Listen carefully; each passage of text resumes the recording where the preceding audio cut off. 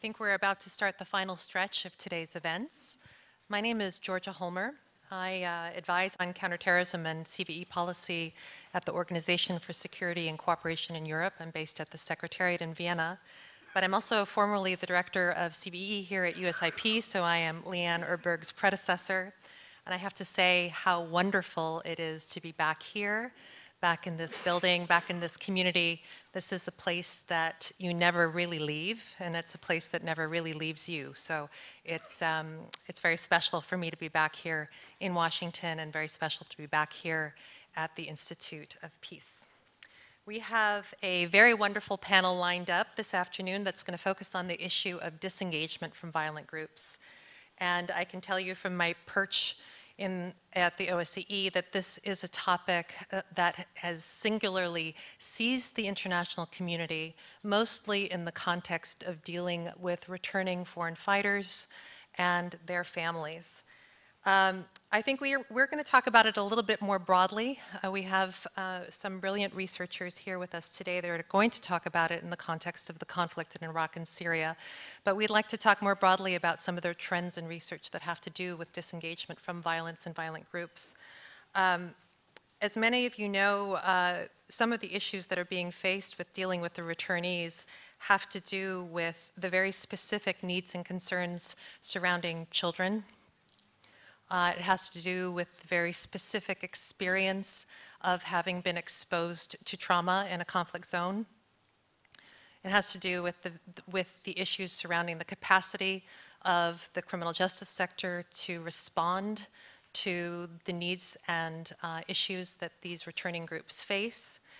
And it also has to do with the details around what happens in the non-custodial or post-prison environment when individuals need to be reintegrated back into the communities, some of these are the communities in which they radicalized in the first place. So there's a whole host of issues we hope to touch on in the next hour. And um, we're going to start uh, with some opening remarks from our three panelists, but let me start by introducing them to you and tell you a little bit about their backgrounds. So to my immediate left, bear with me here. We have Dr. David Malet, who is an assistant professor in the School of Public Affairs at American University.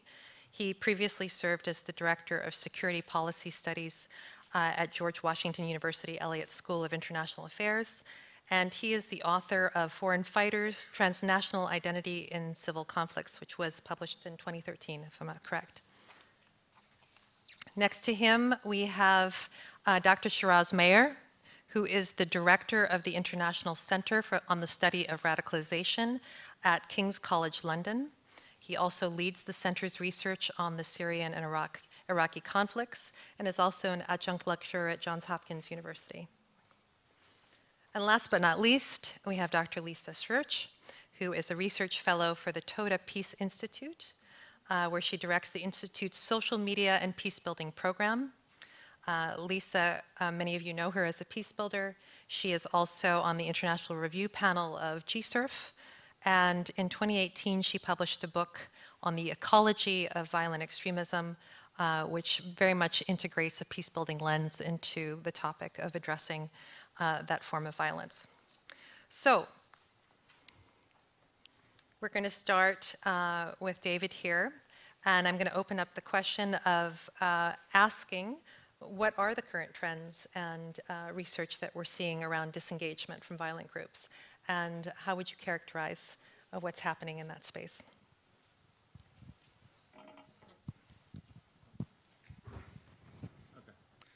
Well, thank you, Georgia. Um, I guess this is going to be the panel of slides, so we'll, we'll navigate those. Um, I think a picture is worth a thousand words, so I, I, can cut down on a lot of words by just showing you a couple of quick graphics.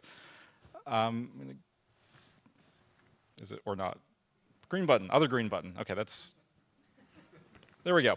Um, so just, we, when we look at, uh, I'll put this back for one second. When we look at the, the question of FTFs and, and returnees, oftentimes uh, it's presented as, sort of a binary question of are returnees a threat uh, and perhaps can the threat be mitigated by not permitting their return?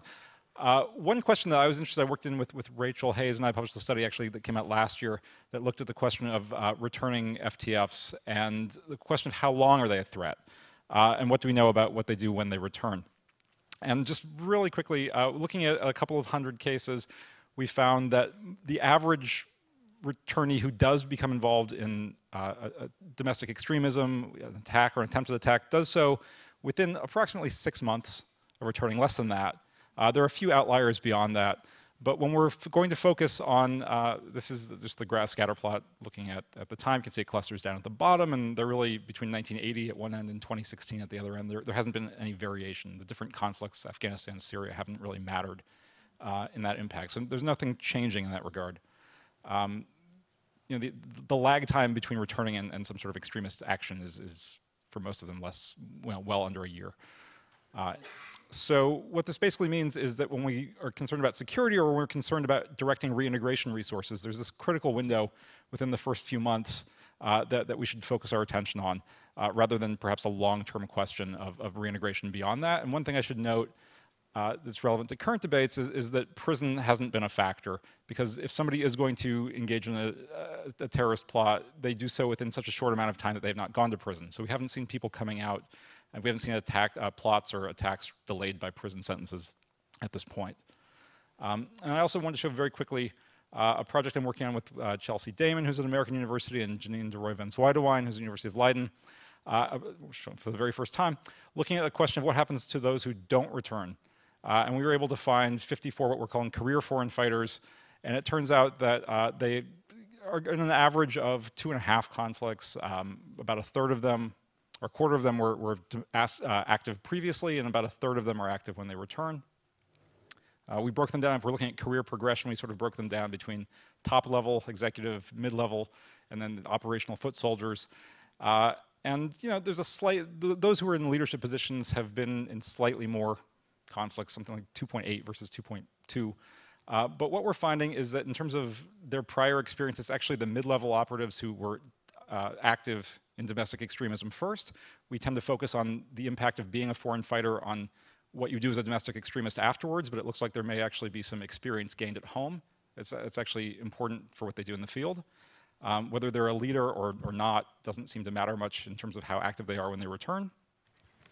Uh, if you look at the conflicts, uh, this has been the case. A lot of people went to Afghanistan first. Bosnia, I mean, obviously those were longer ago, so that makes sense.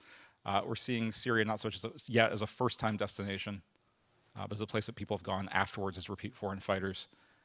Uh, and then finally, just looking at career progression with three being the, the, foot soldiers and one being the leaders, I think the most important finding for us uh, is that most of the people who come in as just foot soldiers don't stay at that level. They, they tend to progress into leadership. So by having individuals who don't return home, uh, you're actually looking at the possibility of them impacting other conflicts, uh, gaining more experience, be becoming in leadership positions later on.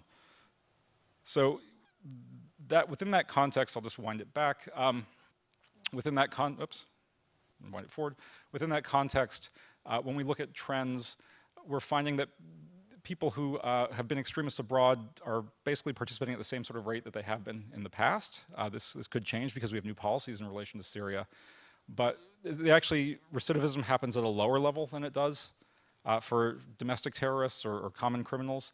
And part of the reason for that, more work needs to be done on this, might be the battlefield experiences of foreign fighters. Many of them uh, report being very disillusioned. We're seeing high incidences of PTSD, which were not reported in the past. And so these need to be taken into consideration when we're crafting policies uh, to address reintegration.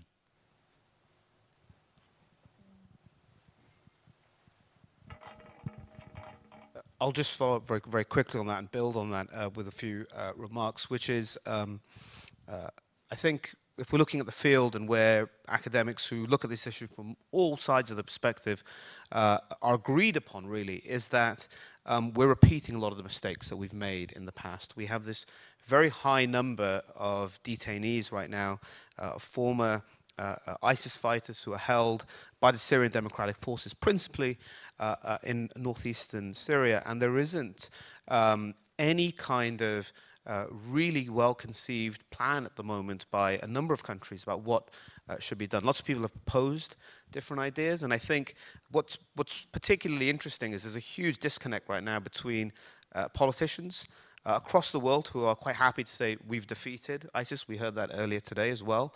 Um, and that is, of course, the headline statement, which uh, does speak to the loss of uh, um, the territorial dimension of this group, but doesn't speak to its other uh, uh, aspects of its identity, which is that it uh, remains an insurgency that is active in parts of Syria and Iraq.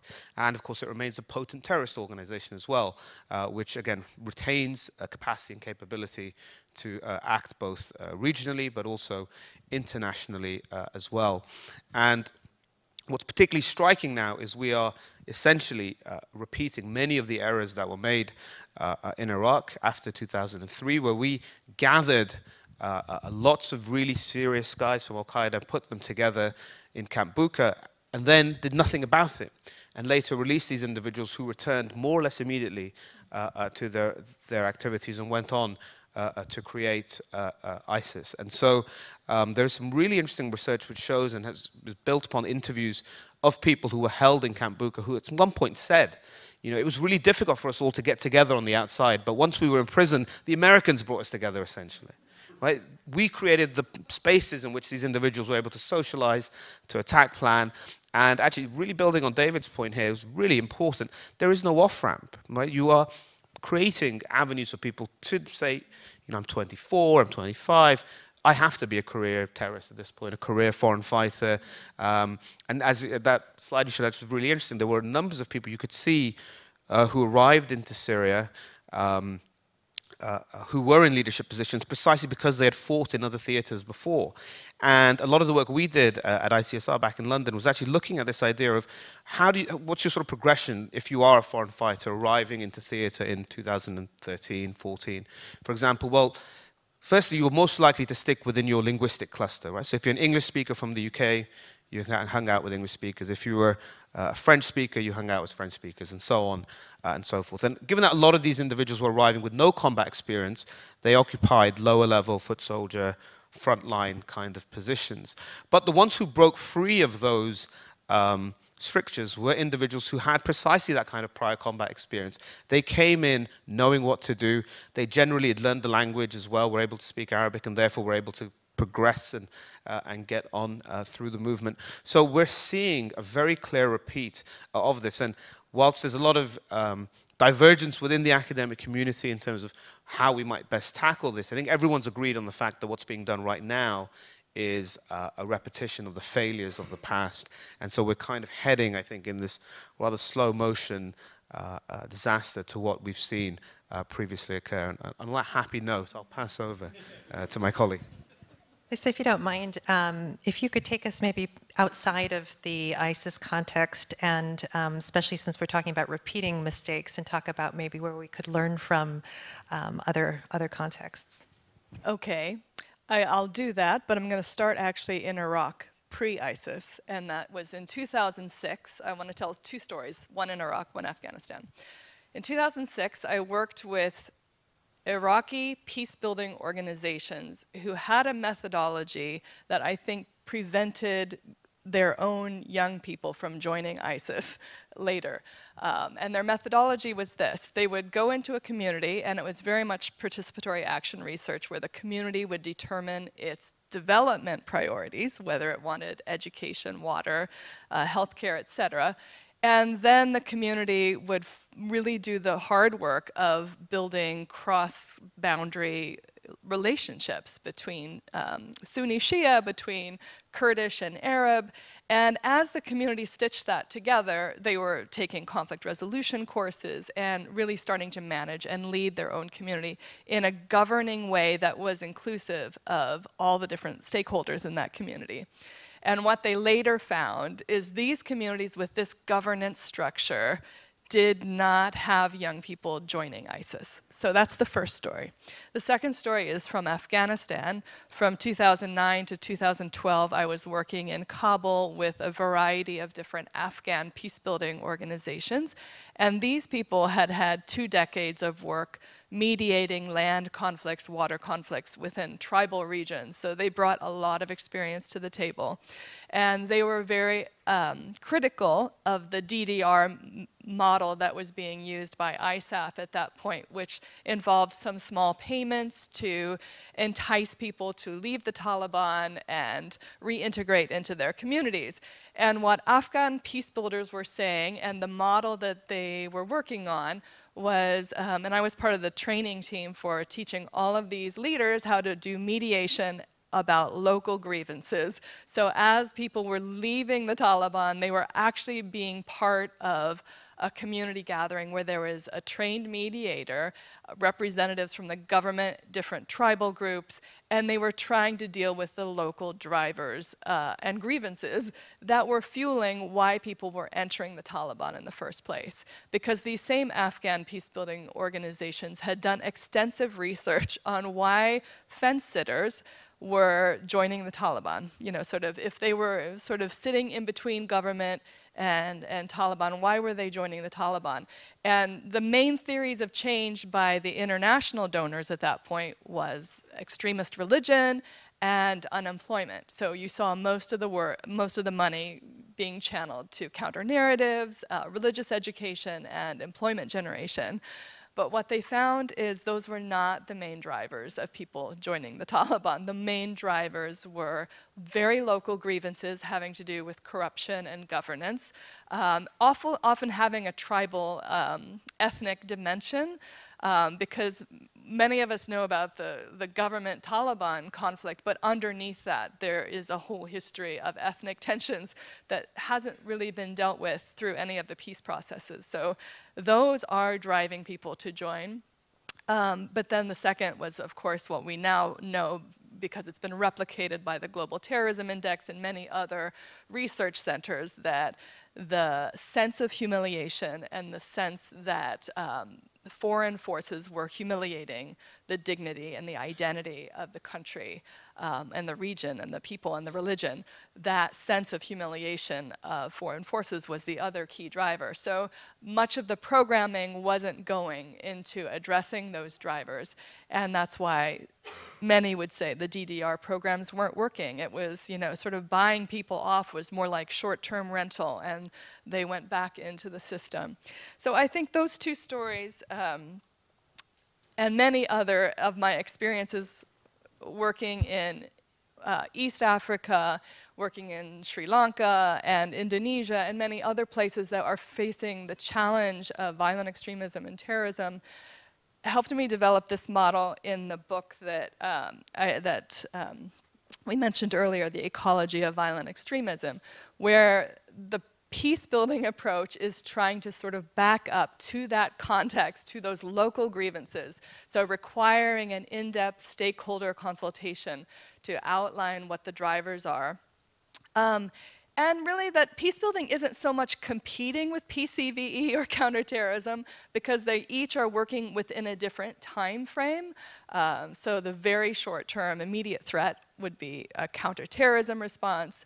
You know, the midterm targeted trying to reduce and um, the, the uh, vulnerability or support the resilience of vulnerable communities is PCVE, and peace building is looking at the kinds of factors that actually create civil war, um, suicide, violent extremism, you know, there are a lot of things emerging from societies where there's not social cohesion and there's a weak state-society relationship.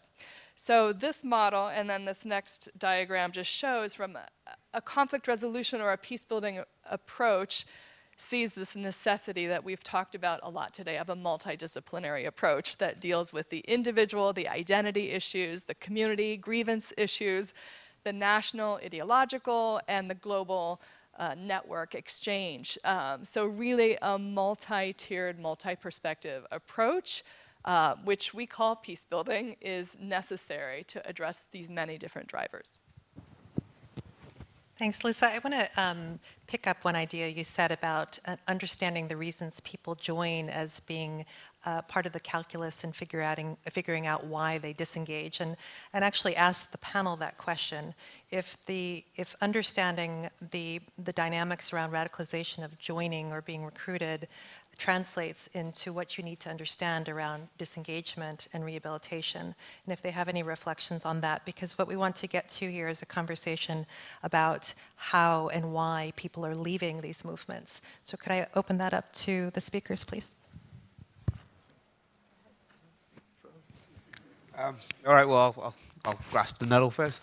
Um, I think based on what you know we've heard earlier today as well, and I think everyone in the room would agree, there are multiple pathways into radicalization. People's motivations uh, are extremely varied, and the primary thing that's keeping them involved is will also a vary, but also uh, is likely to evolve over time. Again, if I use uh, the conflict I know most about in Syria and Iraq, you could see uh, greater in theater radicalization um, changes in the sort of self-narrative that the ind these individuals were telling themselves about why they were there, what they were hoping to achieve. Um, so you could see earlier on um, uh, a lot of humanitarian narrative and that sort of notion that we've come here to help, we've come to uh, respond to what we've seen as a humanitarian crisis, and then that evolution into we're not here to serve people, we're here to serve God. And so even that story the individual were telling themselves was uh, was evolving very, very uh, um, quickly, but also dramatically. And I think a lot of that is reflected in what we see uh, in terms of some of the more uh, prominent, I wouldn't say successful, but certainly prominent and the ones that you're able to access. Um, uh, um, de-radicalization or disengagement programs that operate uh, in the Middle East. So if, if I take uh, the example of the Saudi uh, Rehabilitation Center, which uh, I've been to now three times, I think uh, so there's some people in this room who've definitely been because I've seen you there. Um, you know, you can see different, uh, I should say as visitors, not as uh, uh, sort of inmates. Um, you see very different things. So there is a clear financial um, uh, imperative for people to leave, and it's a very uh, open path of the program. You are financially incentivized to leave, but not just you, but your community as well. So your tribal connections are sort of pulled upon, and, and it's really brought into a broader sort of social investment of everyone around you has an interest in you uh, not going back to what it was you were up to. But coupled alongside that are also very dense uh, and weighty theological discussions. And we've seen again the Egyptians or the Libyan Islamic Fighting Group uh, as well uh, have these uh, large recantation uh, uh, initiatives which are focused much more on the theological aspect and the uh, Shara'i sort of reasons of why you want to not do something, so on. So I think we're at the same point of divergence with de-radicalization and or disengagement as we are with radicalization in that it will most likely be a case-by-case -case basis. And I'll, I'll stop with this. And I think that's a point we've seen in the UK at least in the way um, that its flagship program Prevent has evolved over the best part of a decade, going from uh, everything that we heard about earlier, don't have large sort of national programs that are fairly generic, versus now, which is in essence the sort of front foot of channel, uh, taking the personal individual and trying to work out what it is about them that has led them to uh, uh, start to embrace or embrace uh, extremist ideas, and then to tailor a specific intervention around them, um, which has input from a number of agencies in the UK in order to have a, a sort of specific uh, program for that individual. And you know, it does operate in the shadows quite a bit. We've asked for a lot more access to data, but it does seem to have a relative degree of success, and it doesn't just operate with jihadis, but with the far right as well. Let me just add on to that because I wanted to talk about trauma and the Saudi Center uh, for Reintegration actually really does focus on trauma recovery, trauma healing, whatever you want to call it, through art therapy, through counseling, music therapy, very creative ways actually. And what's interesting about this is the trauma narrative of understanding how early childhood trauma or even more recent trauma is affecting young white nationalist young men who shoot down people with guns in this country, um, often there is a trauma analysis, which is interesting and kind of conserving because some of the other analysis of where that's coming from is often missing. But that trauma analysis has rarely been used in the International Center, and, and certainly I think the Saudis have really been clear that uh, addressing trauma is part of the reintegration process. Um, So I, I think that a lot of, well, we, have heard today that uh, we still don't know how to identify who is going to, who is going to radicalize. Um, we can look at pathways. It's, I think it's a similar concern about de-radicalization and disengagement. There's, there's no one way out. Uh, there's been focus, and Shiraz just mentioned, on, on, on narratives, on, on just, uh, ideological justifications. Um, I think there's a focus as well on of individual efficacy that matters. And, and, Lisa was just talking about this in terms of not just in trauma, but some of the things you were mentioning earlier about, about programs, uh, community level grievances. Um, I think one thing that, that, we should look at is that um, narrative, there are a lot of narratives in, in, the world, but we don't think that they all necessarily apply to us. We all see stories about people in need, people hurting, and we don't say, it's my responsibility to do something about this. Uh, and what extremist groups of different stripes do, and especially using J.M. Berger's definition of extremism with focused on group identity, is that they, they make the focus on this is your, you know, your level of identity that matters, this is the one that requires action. Um, reducing the pull of those, those types of identities, uh, and whether you want to use different social science terms like cross-cutting cleavages or, or uh, intersectionality, uh, the fact is everyone has different levels of identity. Everyone has different responsibilities, different roles to, to different facets of their identities, different groups. And so by giving people a sense of efficacy, perhaps, um, or, or, giving them a sense of responsibility, whether it's at the family level or the community level, th that they can have an impact, I think would go a long way towards addressing some of these issues. Let's go back to this topic of trauma because we heard about this earlier today too and how exposure to, to war trauma is something that contributes to vulnerability to radicalization um, and it's something that is featuring in this particular demographic that we're talking about coming out of Iraq and Syria. So um, thank you for putting that on the table, Lisa. Could, um, could I ask the other speakers to reflect a little bit more about how this issue of PTSD or, or experience of trauma is um, informing some of the responses uh, towards rehabilitation or disengagement, um, or perhaps um, some of the choices around disengagement and motivations towards it, if they are?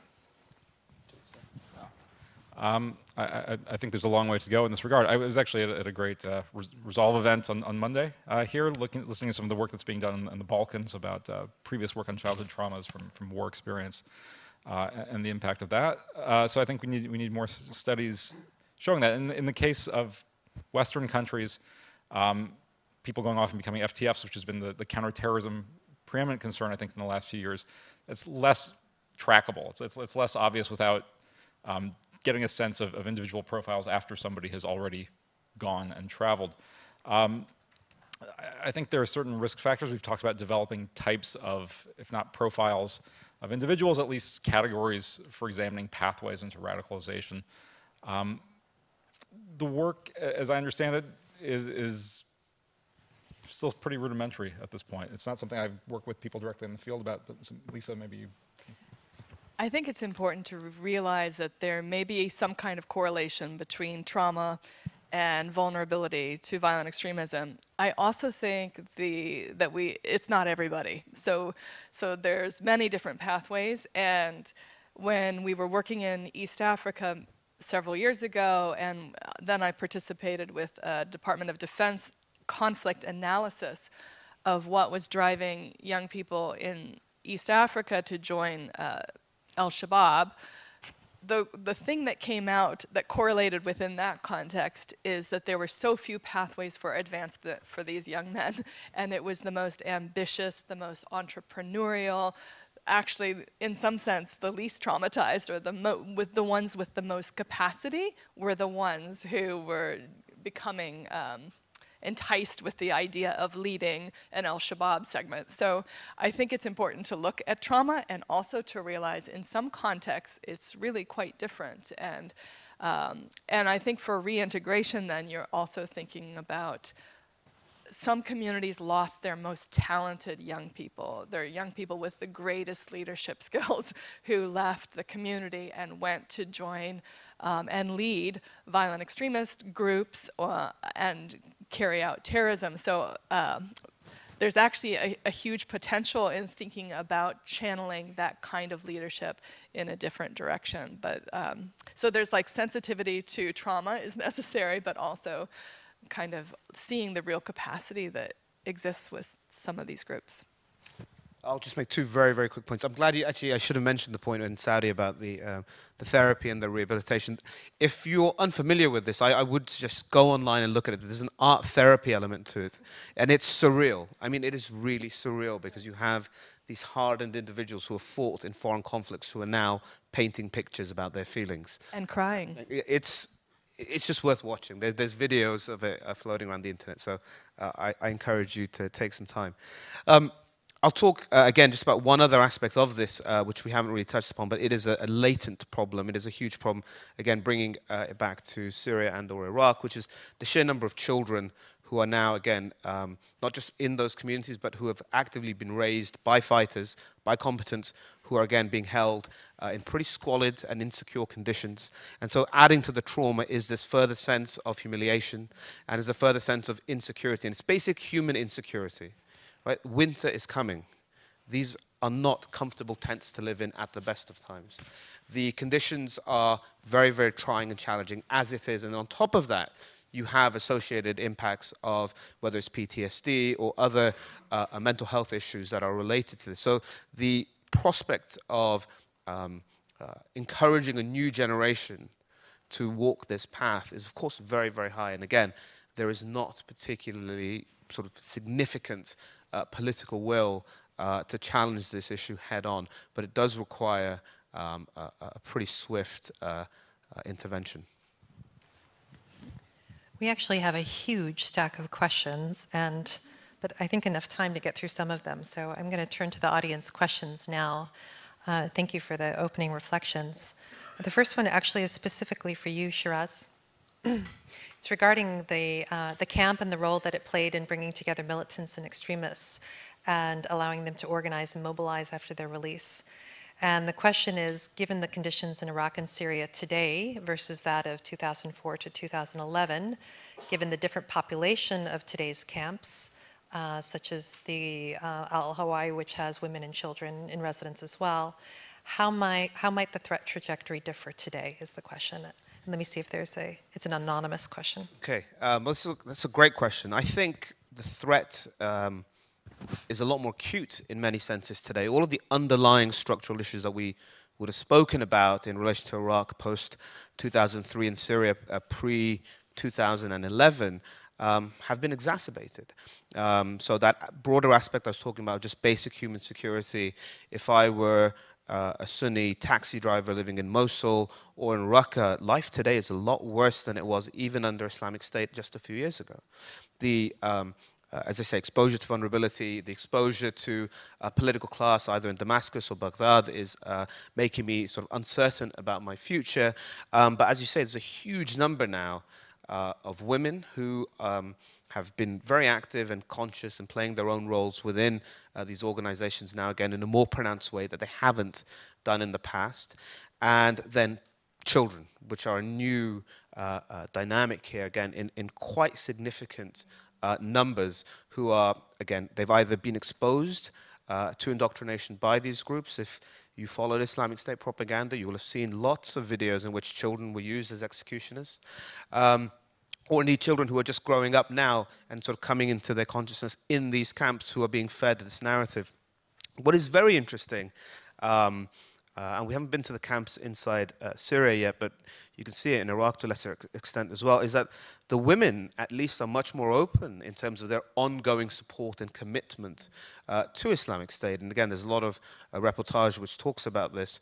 Um, and the sort of brazenness of that campaign, the men will come and get us out, Baghdadi will return, we will revive the caliphate once again, and so on and so forth. There's a lot more uh, open uh, dogmatism there. And I'm not sure why that is the case. If you've seen, again, the interviews uh, with um, male detainees, particularly of Western men, then there's a lot of uh, uh denial of what was really happening. You would think uh, ISIS was a dining club based on what most of them are claiming to have done, just being chefs and cooks and, and whatnot. so there, uh, there's a lot of denial going on because I think they're worried much more about being turned over to local custody, and of course, no one wants to uh, end up in Syrian state custody uh, in particular. So I think there's a lot of denial going on there. But um, all of those underlying issues to my mind, are worse today. Uh, and so this is something uh, that I've been really going on about a lot in various audiences, such as I say, there needs to be political will to start to look at how we collectively uh, deal with this. And, and, just, it's worth saying, there's huge division even between very close allies. Britain and the United States are in wild disagreement about what should happen uh, about these detainees. The United States has repeatedly, and rightly in my opinion, uh, uh criticized the British government for its approach, which has been to completely wash its hands uh, of those who are in detention, in a lot of cases to uh, uh, strip those individuals of their British citizenship to precisely force them down the road that David was talking about, becoming career terrorists. And so we are displacing this problem, but essentially elongating it because these are individuals who now, if they get the opportunity to leave uh, their current detention, have no prospect but to go back to the fight uh, and to come back even stronger and harder than they did uh, before. So I'm afraid my, my outlook isn't particularly optimistic.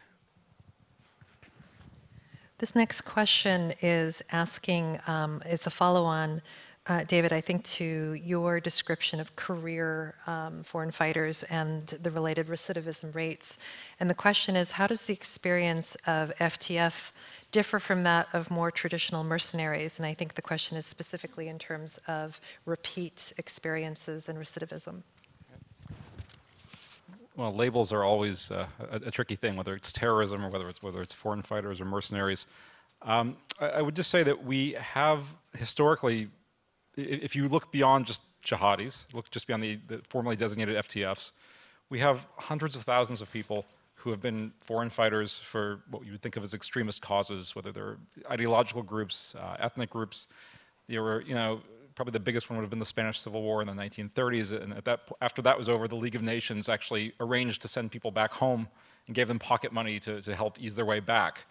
Um, I guess if you're going to look at, at people in similar movements, you, what, what, has happened with ISIS is not necessarily unprecedented. You had uh, revolutionary Russia and China encouraged people to come from the West to be doctors, to be, to be teachers, uh, offered women special status in shopping districts, recruited some from the Canadian Parliament and from the Manhattan Project uh, to come teach and be farmers and things like that.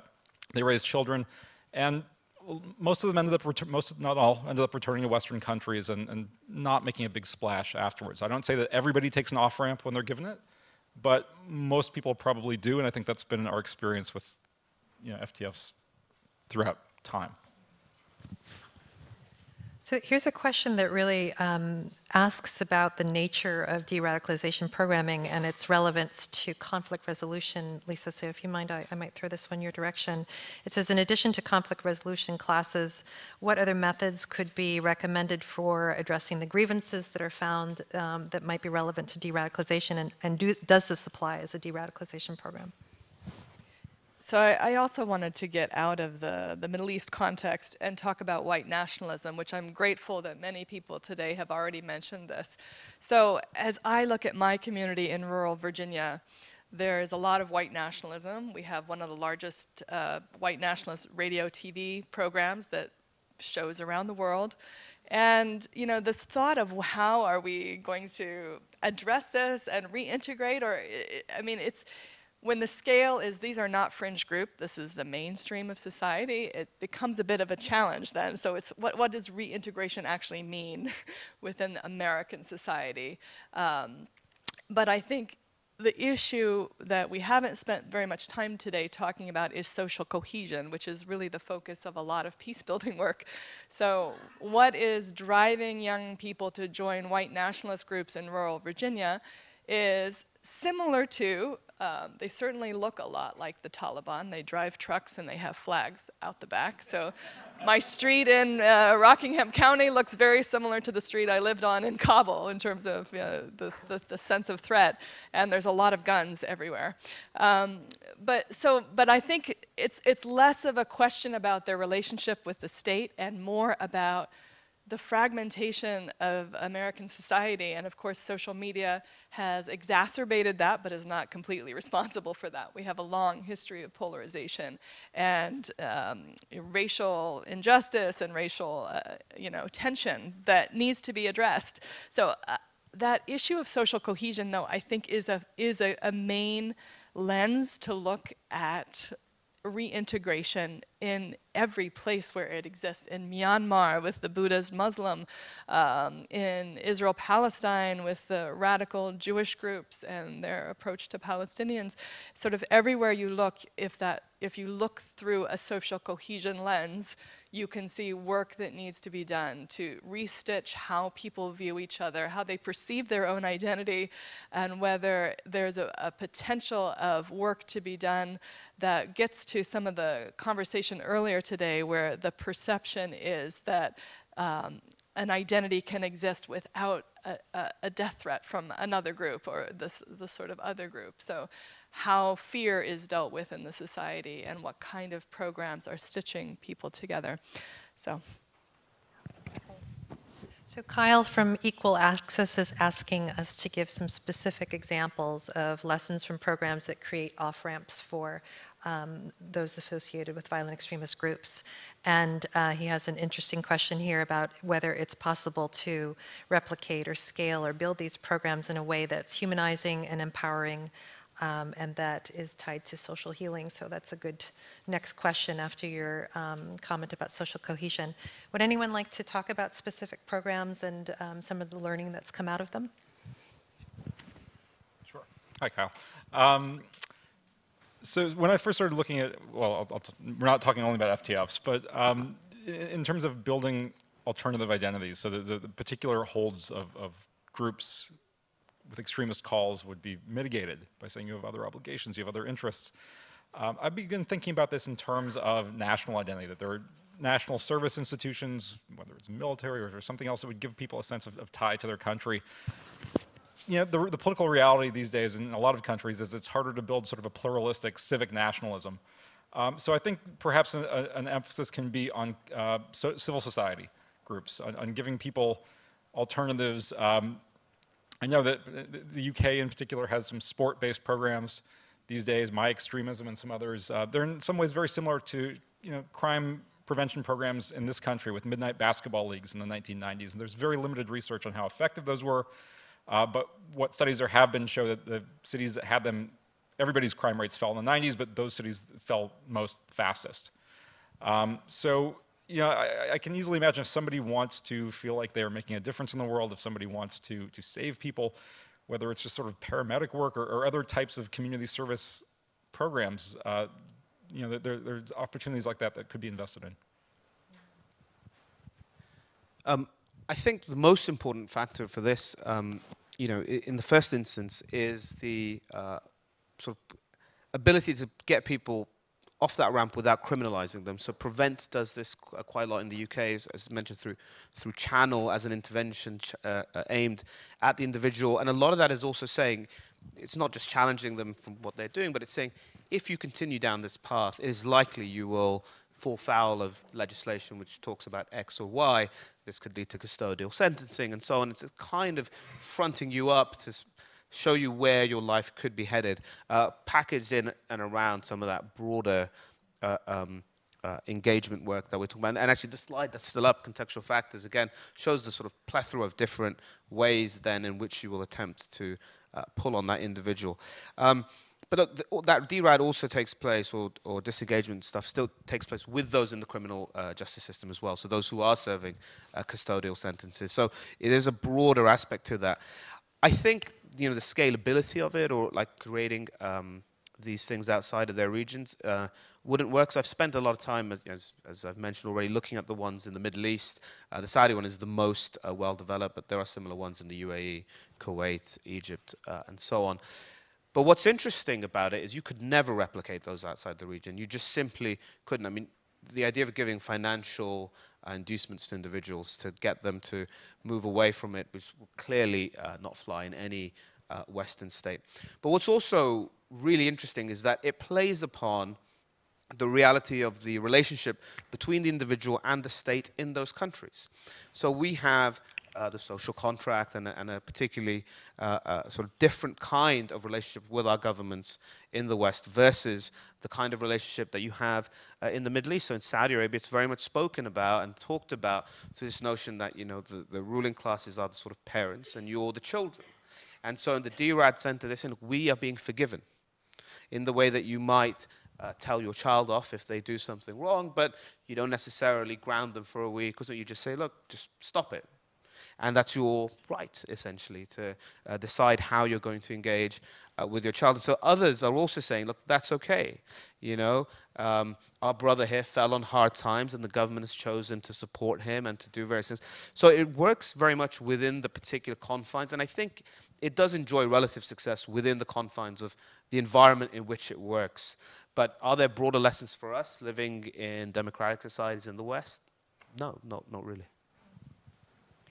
One thing that we haven't talked about yet is that much of the research correlates um, reintegration or leaving, de-radicalization, with a former fighter being the one to invite somebody to leave. So whether that's in Indonesian prisons, with foreign fighters uh, doing the work to help uh, de-radicalize within the prison setting, to here again in North America, if we look at groups like Life Beyond Hate, which is completely made up of former white nationalists, and their work is to engage directly with white nationalist groups and young people and to invite them out in a without shaming and without the um, heaviness that that so many groups uh, talk about. So I think that that realization that formers uh, former whatever, former ISIS, former white nationalists, are really key to the strategy for um, de radicalization and, and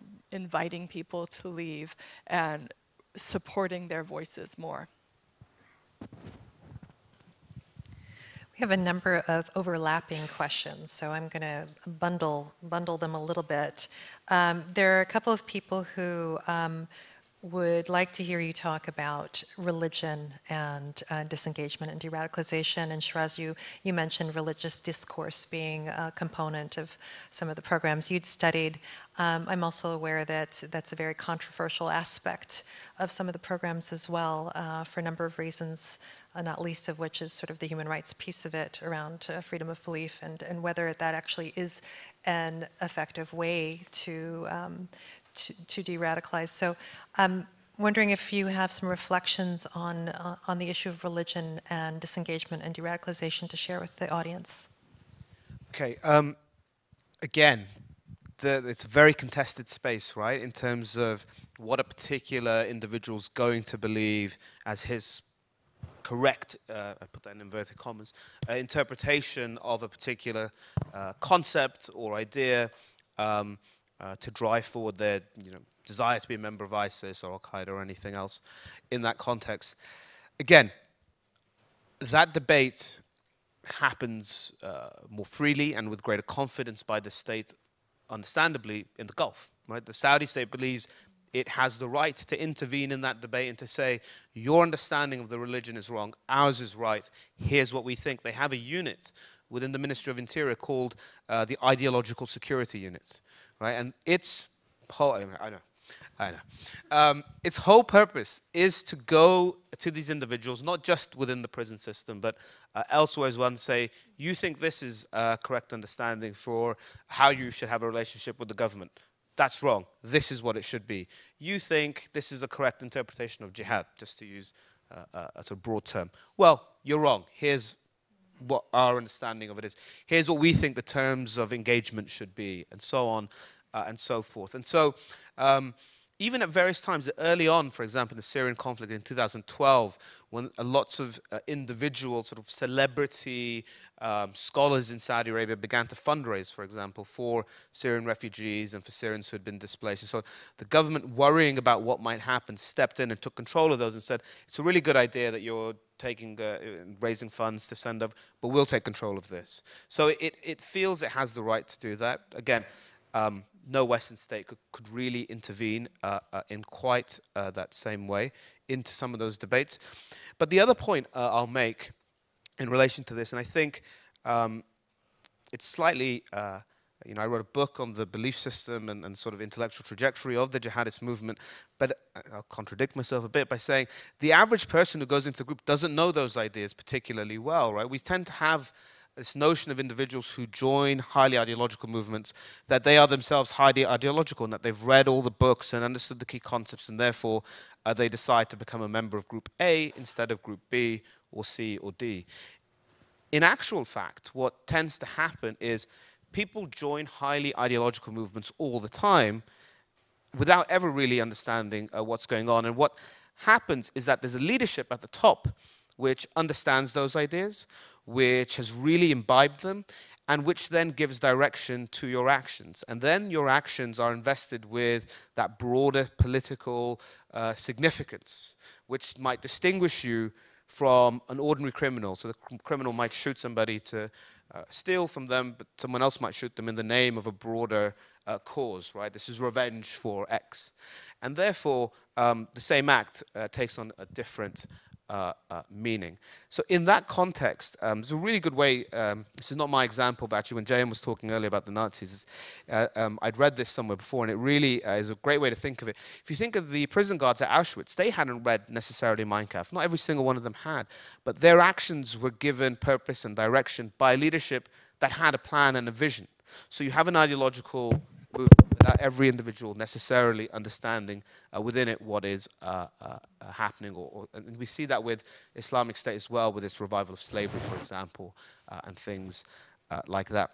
The final point I'll make on this is that having now been repeatedly, as I said, to the Saudi program over 10 years, anecdotally, what's very evident is the ones who are most uh, susceptible to breaking down easily, of course, are the ones who are not at that leadership ideological level. The ones uh, who are there tend not to make it to that rehab center um, because they are doing much lengthier jail sentences. And really funny, the, th the second time I went, we met an individual, and a colleague and I on the flight home were talking about him, and we said, he really didn't seem very repentant. He seemed, he seemed clearly ideological and, and, and sort of on that path. Um, three years later, four years later, I was uh, talking to a British foreign fighter in Raqqa. We were communicating over Skype. And he said to me, You'll never believe it. I met this great brother earlier today from Saudi. And it was the guy that we'd met a few years earlier, and he'd uh, returned to the cause. Oh, wow.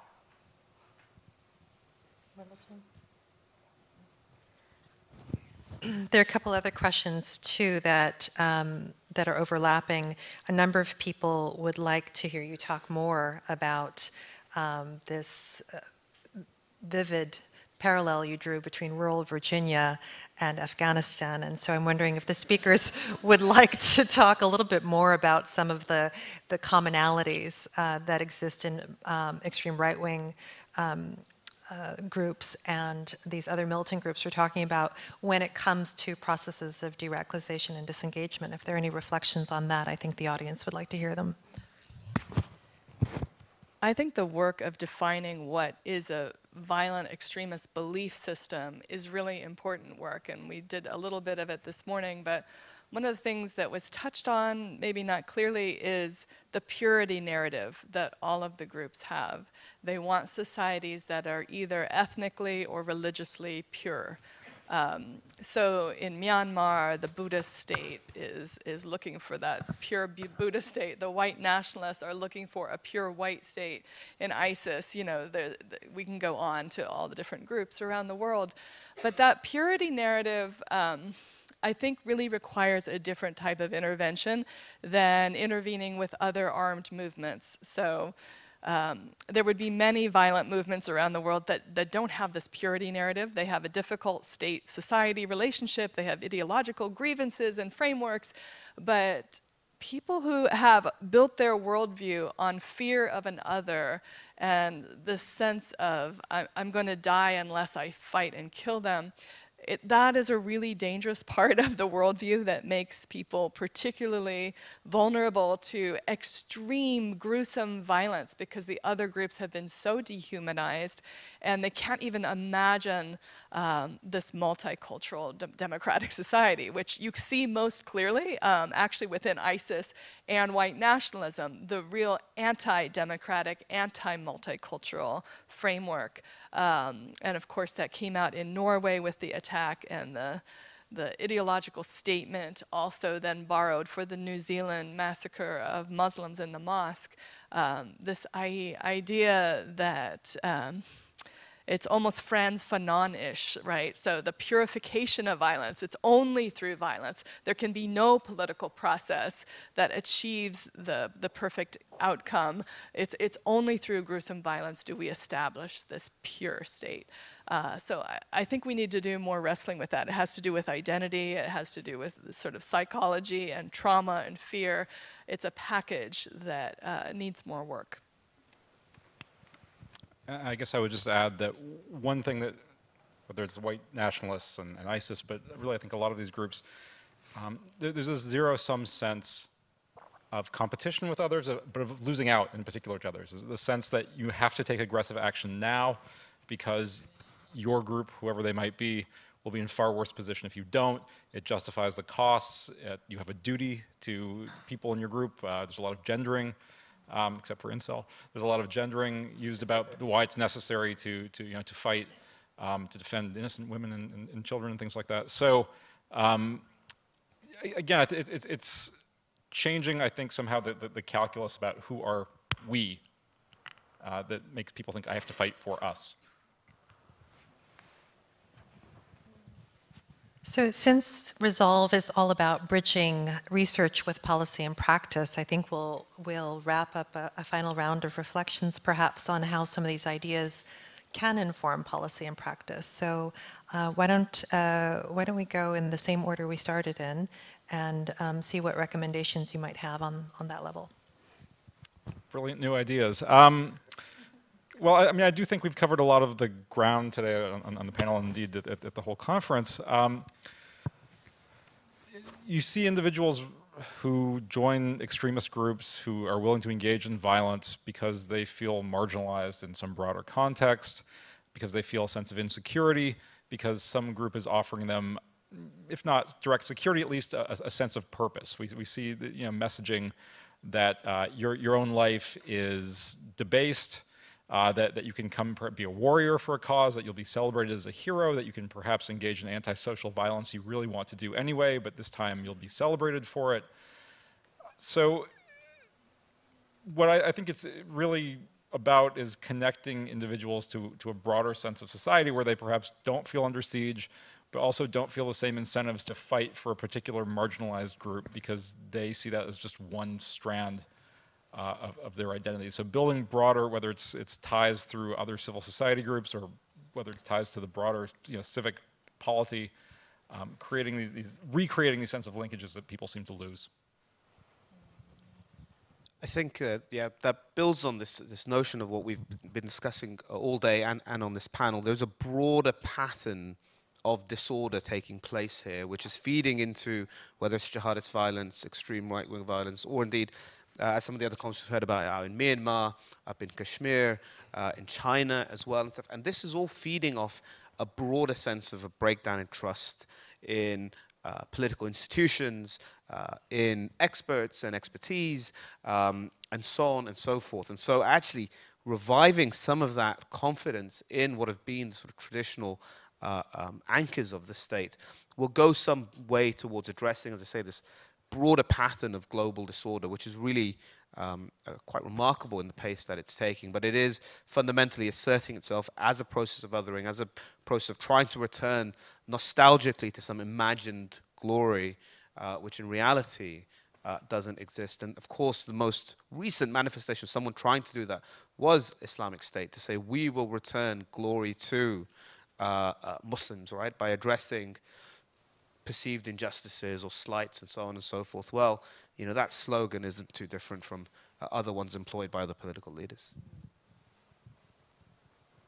I want to go back to this diagram and also really focus on the work of U.S. Institute of Peace in making this research policy practice, um, building those bridges, because this is the space where I think it's happening most clearly anywhere that I know of in the world. And that is because USIP put out a new report last spring, which is being passed out on violent extremism. And the day that I was watching that live webinar of Senator Lindsey Graham talking about what a fantastic report this is, and did you know there's groups of people that study conflict analysis and that they do peace building. And for Lindsey Graham to be saying this, uh, I felt like was a tremendous victory of thinking really all of the research we've done is making its way into the hands of policymakers who are now looking at some of the data that we've put together on evidence-based approaches to addressing violent extremism. And um, I, I want to thank USIP, uh, Georgia, you laid the groundwork for this, uh, you know, just incredible work because it, I think it's really significant that we have spaces where people from the three communities, counterterrorism, CVE, and peace building can all come together. Earlier today, someone mentioned that you know violent extremism needs to become a field. I agree, but I think the field of peace building, which has existed now for 40 years and has focused on conflict analysis and social cohesion and polarization issues, we have so much to give the field of violent extremism in terms of how do we get to the root causes and how do we deal with governance and polarization and many of the issues that are driving violent extremism. Please join me in thanking our panelists this afternoon.